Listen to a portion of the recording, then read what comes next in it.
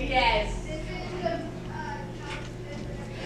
Everyone, this is Jane Taff, your Citrus Heights Chamber Ambassador. And with me today is Tammy Warta with the Royal Stage Performing and Visual Arts Center. And we just had her grand opening. How are you, Tammy? I'm good, thank you. It's such an exciting day. yes, definitely. So why did you choose to be part of the Citrus Heights community?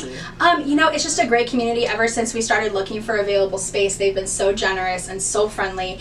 And we've had participants for years coming from Roseville and Rocklin and Rancho Cordova and Folsom, and it was just such an awesome middle, you know, meeting spot for everybody to come together and be a part of this. So Absolutely. Yeah. So Citrus Heights being central again. Yes. Awesome. Now, what do you really hope that the Performing Arts Center will do here in the community and how, how do you want it to grow? I really hope it impacts lives. Uh, we're a Christian organization, which means we really want to show love to people and encouragement to people, and we hope everybody finds a place here and just feels loved and accepted, and um, also grow in the creative arts. We have lots of kids, but also adults that we would love to see grow in theater and dance and art, and just come and create with us and be a part of our community. Wonderful. Now, is there anything in particular you want to invite people to do?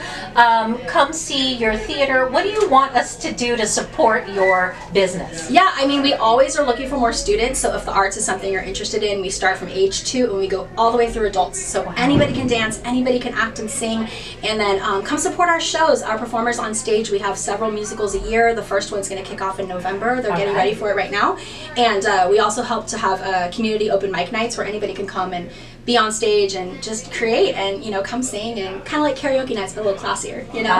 Oh, I really like that. community, for sure. I absolutely love that. We are so excited to have this type of business in our community. I, for one, am a huge advocate for the arts in general, and having a performing arts center that's focused on the youth is such an asset to our community. So, welcome Tammy to our community and the Royal Stage Performing and Visual Arts Center. Thank you so much. Another wonderful, great business in Citrus Heights.